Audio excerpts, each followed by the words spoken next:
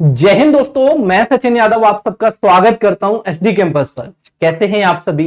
उम्मीद करता हूँ कि आप सब बहुत अच्छे होंगे। आप स्वस्थ होंगे, मस्त होंगे, ज़बरदस्त होंगे और अपनी तैयारी को बहुत बेहतरीन तरीके से कर रहे होंगे। आप सभी प्रिय विद्यार्थी, इस बात को बहुत अच्छे से जानते हो कि मैंने कैलकुलेशन सीरीज़ शुरू की है।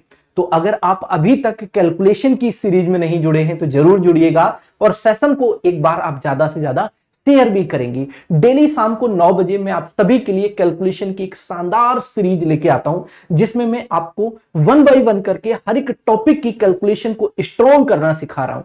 सबसे पहले मैंने आपको स्क्वायर की शॉर्ट ट्रिक से अवगत कराया कि किसी भी नंबर का आप स्क्वायर कैसे विद इन सेकेंड निकाल सकते हो। सबसे पहले मैंने आपको दो वीडियो के माध्यम से वो आपको कंप्लीट कराया।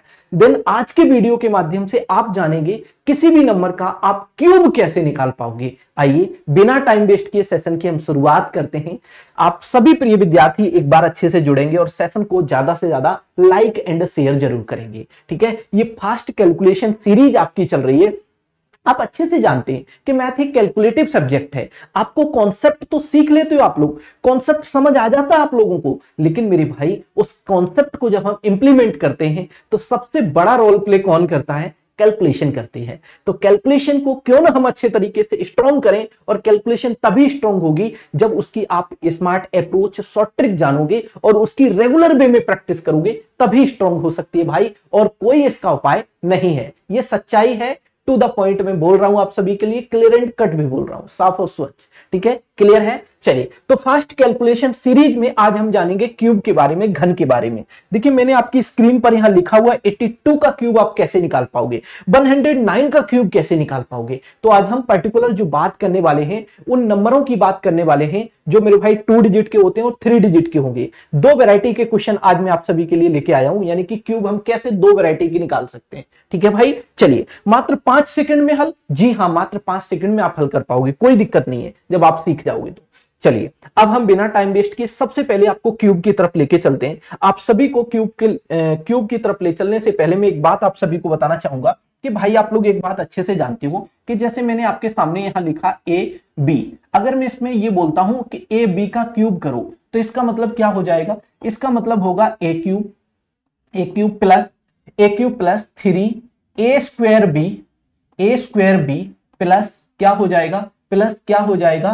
Three three A B square plus क्या हो जाएगा? B cube. ये हो जाएगा कि नहीं हो जाएगा? जी सर, बिल्कुल हो जाएगा। ये आपने कहाँ से ओपन किया है? ये मैंने ए इंटू बी। ए को हमने ये मान लिया, ये बी है और इसका मैंने क्यूब किया है।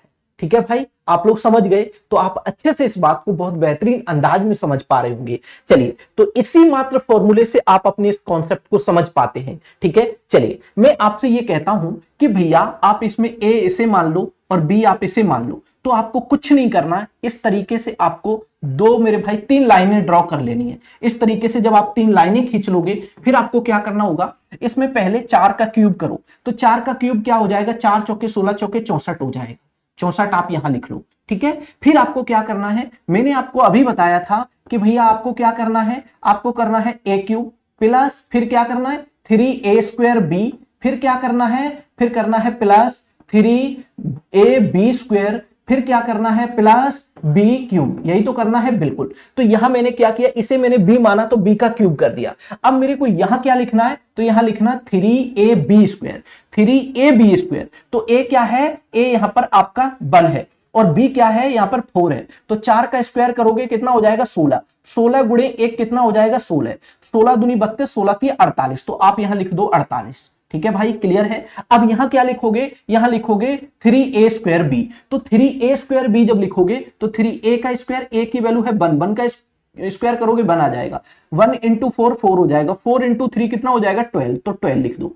अब हम वन का क्यूब करेंगे तो वन आएगा। बस आपको ध्यान रखना है कि मेरे भाई, अब जब यहाँ से जब ऐड करना शुरू करोगे तो किस तरीके से करोगे? केवल वन डिजिट यहाँ रहेगा, बाकी एक्स्ट्रा डिजिट इधर फॉरवर्ड कर दो। तो यहाँ क्या बचेगा? केवल चार बचेगा। चार बचेगा, बिल्कुल। अब इस छह को हम यहाँ जोड़ेंगे तो कितना हो जाएगा? आप बोलोगे यहाँ चौवन हो जाएगा। तो चौवन का आप क्या लिखोगे? यहाँ चौवन का चार लिखोगे। चार लिखोगे, पाँच कैरी हुआ तो आप पाँच यहाँ पे जोड़ोगे। बारह, पाँच कितना हो गया? सत्रह। सत्रह का आप सात लिखोगे, एक कैरी कर दोगे। एक और एक कितना हो जाएगा? दो हो जाएगा। तो सत्ताईस आपके क्वेश्चन का बिल्कुल सही जवाब बन जाएगा। मेरी बात को आप लोग समझ पा रहे हैं। अब यहाँ देखना, आप लोग बहुत स्मूथली कर पाओगे। आइए जरा इस क्वेश्चन को देखते हैं।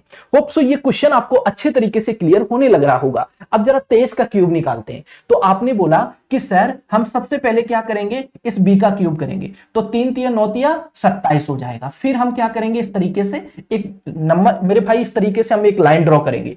फिर हम क्या करेंगे? मेरे भाई थ्री ए बी स्क्वायर तो बी का स्क्वायर करो। तो इसका स्क्वायर करोगे तीन का स्क्वायर नौ। नौ दूनी अठारह। अठारह गुड़े तीन कितना हो जाएगा? अठारह दूनी छत्तीस, अठारह तीन चौवन। तो आप यहाँ चौवन लिखो। फिर एक लाइन ड्रॉ करोगे, फिर आगे बढ़ोगे। फिर आपको क्या करना है? मेरे भाई, इसका स्क्वायर करना है। तो दो का स्क्वायर करोगे, चार हो जाएगा।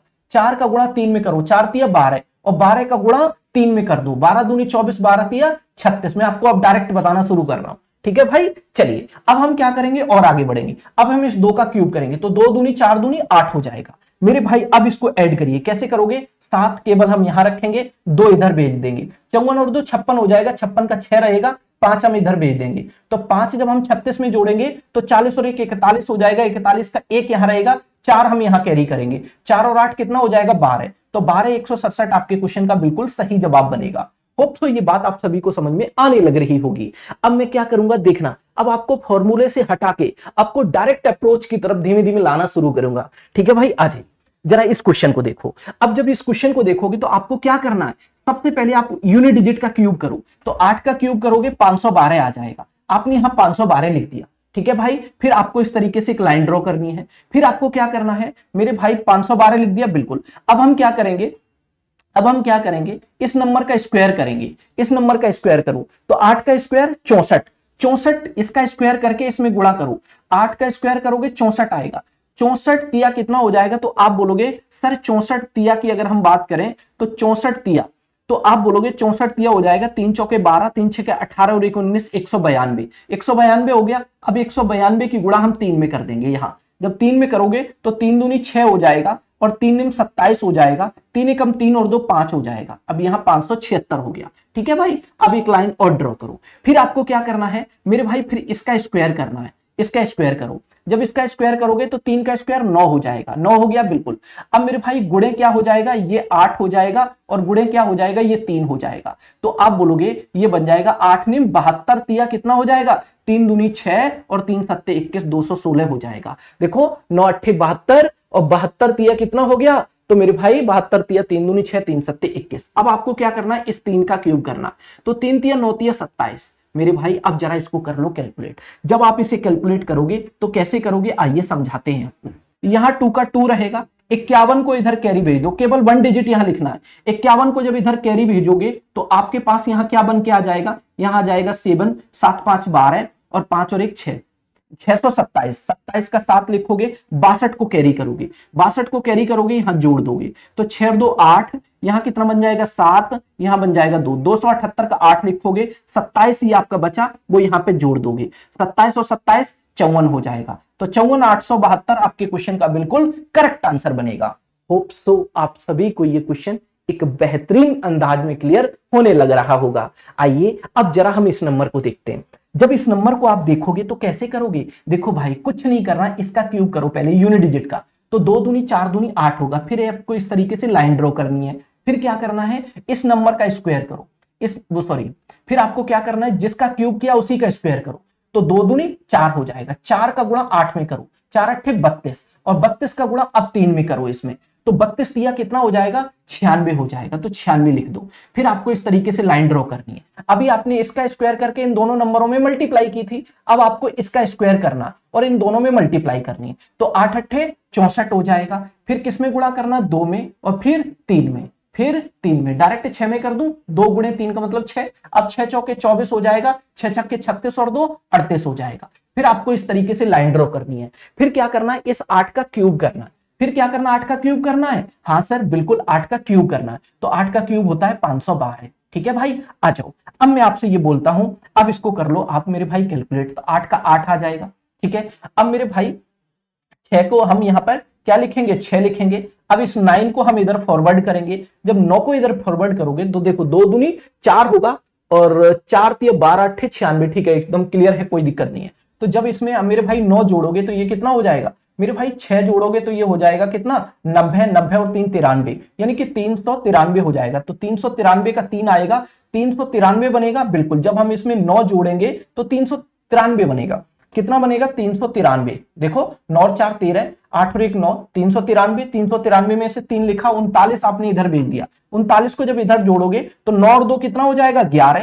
चार और एक कितना हो जाएगा? पाँच। और ये पाँच का पाँच रहेगा। इक्यावन तेरह अड़सठ। आपके क्वेश्चन का बिल्कुल सही जवाब बनेगा। होप आप सभी प्रिय विद्यार्थी अच्छे से समझने लग रहे होंगे। चलिए, अब हम बढ़ते हैं आगे की तरफ़।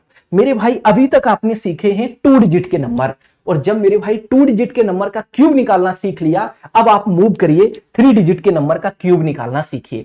मेरे भाई थ्री डिजिट के नंबर का जब आप क्यूब निकालोगे, अगर थ्री डिजिट का ऐसा कोई नंबर है जिसके बीच में ज़ीरो है तो आप लोग ध्यान रखना तो आप लोगों को बस इतना ध्यान रखना कि इसे आप ए मान लेना और इसे आप बी मान लेना। इसे आप बी मान लेना। जब आपका बीच में ज़ीरो हो तब। ठीक है भाई? लेकिन ध्यान क्या रखना है? ध्यान ये रखना है, अभी हम यहाँ क्या कर रहे थे? एक डिजिट लेते थे। अब क्या करना है मेरे को यहाँ पे दो डिजिट रखने ध्यान दीजिए। कैसे? देखो इधर। मैं नाइन का क्या करूँगा? क्यूब नाइन का क्यूब होता है सात ठीक है? चलिए, अब हमने एक लाइन ड्रॉ कर लिया। अब हम क्या करेंगे? जिस नंबर का क्यूब किया, उसी का स्क्वायर करेंगे। नॉनिम इक्यासी। इक्यासी का गुणा हम एक में भी करेंगे और तीन में भी करेंगे। तो इक्यासी तिया कितना हो जाएगा? तीन एकम तीन तीन अट्ठे चौबीस, यानी कि दो अब हम लाइन ड्रॉ करेंगे। फिर हम क्या करेंगे? हम मेरे भाई जो बचा हुआ नंबर है, इसका हम स्क्वायर करेंगे। तो इसका स्क्वायर एक का स्क्वायर एक ही हो जाएगा। एक का गुणा नौ में करोगे नौ नौ दून अठारह, नौ सत्ताईस। तो सत्ताईस हो जाएगा। और जब आप बन का क्यूब करोगे तो बन ही निकल के आएगा।